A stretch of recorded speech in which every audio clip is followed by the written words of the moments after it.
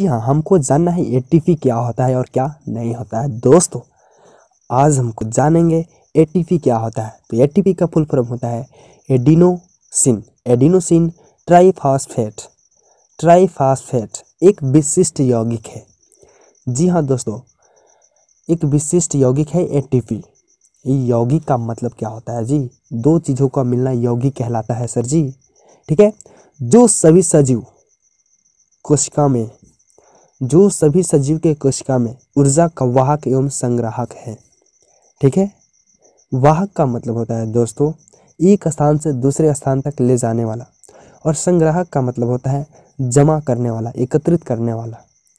ठीक है? एटीपी को हम कार्बनिक यौगिक कहते हैं। ठीक है? तो चलिए, वीडियो समाप्त हुआ।